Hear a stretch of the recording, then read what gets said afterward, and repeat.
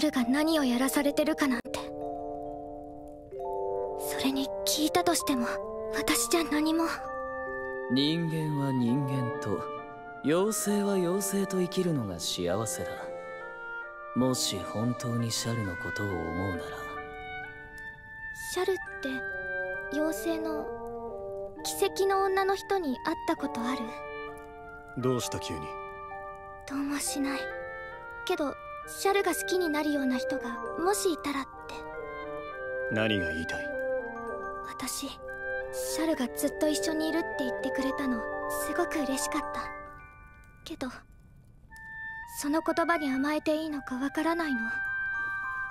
シャルに無理してほしくないし幸せでいてほしい。だからシャルがもし甘えてもいい